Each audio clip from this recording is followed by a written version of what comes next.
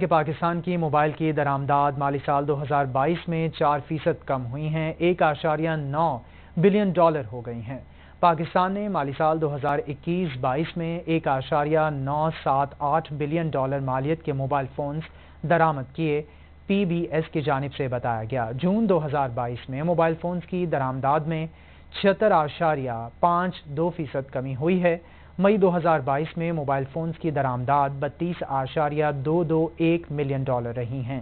जून 2021 में छः सौ सतहत्तर आशारिया दो सिफर चार मिलियन डॉलर के मुकाबले में मोबाइल फ़ोन्स में चौरासी आशारिया दो छः फ़ीसद मनफी इजाफा हुआ है। जून 2022 में मुल्की टेलीकॉम की मजमू दरामदाद में बावन आशारिया आठ सिफर फ़ीसद कमी हुई है, जबकि मई 2022 में नौ सौ पिचासी आशारिया एक आठ तीन मिलियन डॉलर की दरामदाद के मुकाबले में छियासी आशारिया आठ चार तीन मिलियन डॉलर्स रही हैं।